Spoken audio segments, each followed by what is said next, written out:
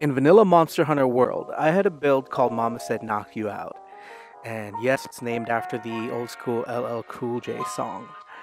Uh, well, that was a, a hammer build with Slugger and Sleep to literally knock monsters on their asses. This build is like a Pokemon evolution for that one.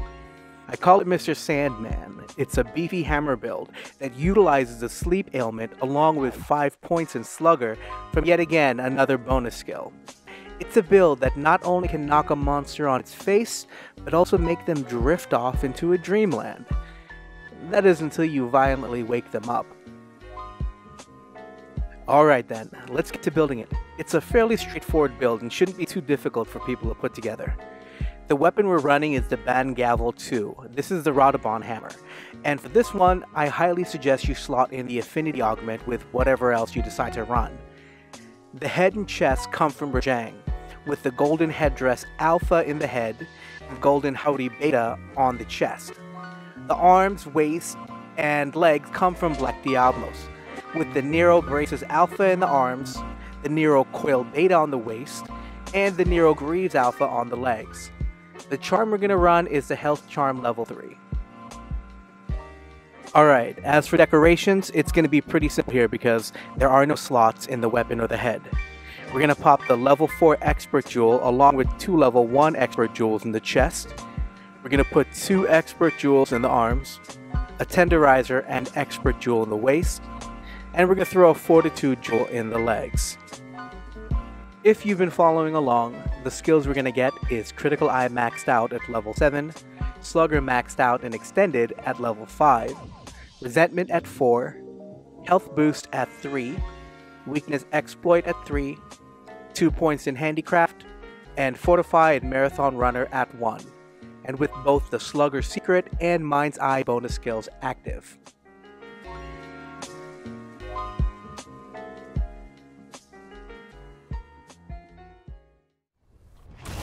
So first and foremost, I need to touch on Slugger Secret and how amazing 5 points in Slugger actually is. Now a weapon like the hammer does the best damage by going for the head. In turn, this greatly increases the chances that you'll knock a monster out. The 5 points in Slugger gives you a 60% increase in your stun power.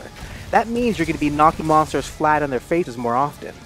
I found myself stunning monsters so much, especially ones that are very susceptible to stuns, that I begin to feel kind of bad for them. Uh, that is only, mind you, until I uh, remember that I need to hunt down their entire family tree just to make some fancy pants. One thing I do need to caution you is a little bit of restraint when you're running this build. Since this is a sleep hammer build with Slugger, if you notice the monster going to sleep, do yourself a favor and stop bashing that head. I've overwritten a sleep ailment so many times because I just kept on bashing away, and while a monster is in the middle of its sleep animation, it can still get knocked down with a stun and you'll end up losing out on that sleep.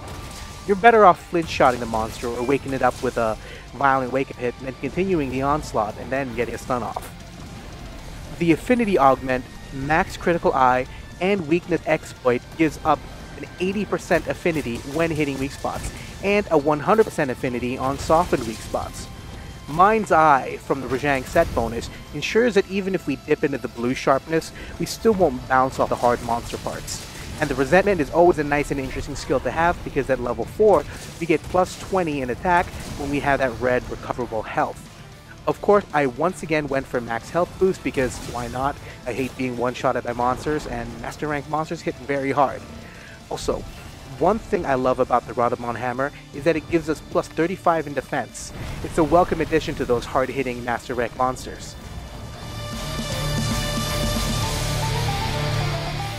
As for my suggested adjustments, here are a few that you can run. First one, I want to focus on the weapon itself. If you want to sacrifice the 35 defense boost and a bit of the damage, you can opt for using the Nyx Hammer 2. This is the Nightshade Paolumu hammer. This one also gives you more sleep while offering a level 2 deco slot. Personally, I went for the Radobaan Hammer because of the defense boost, but this is a viable option if you want to go that route. And with the level 2 deco slot, you can pop in some critical boost, a sharp deco, a Furor deco to get resentment up to max, or whatever else you want.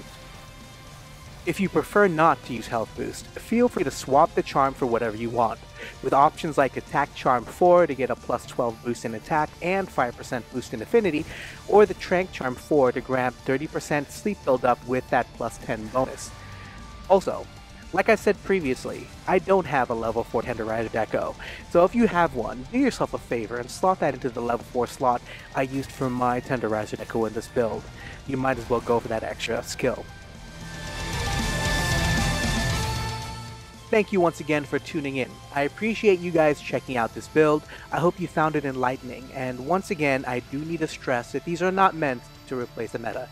It's personally a fun and interesting way to play the game, and while these aren't speedrunner builds, and I'm not a speedrunner, I did go out of my way to make sure that they're optimized for the task laid out at hand.